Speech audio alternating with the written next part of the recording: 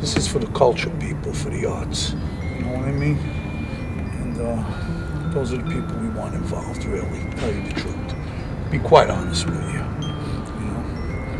And uh, a lot of times when people say, "Yo," to be quite honest with you, they're usually full of shit. But uh, to be quite honest with you, those are the kind of people we want. You know. Jerry, this is a little special gift. It's uh, from me to you. It's got a little history behind it, Jerry.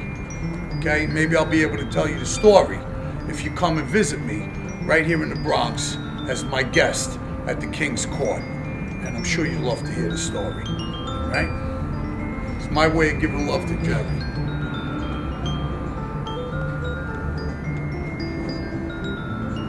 A friend of mine is also making a donation.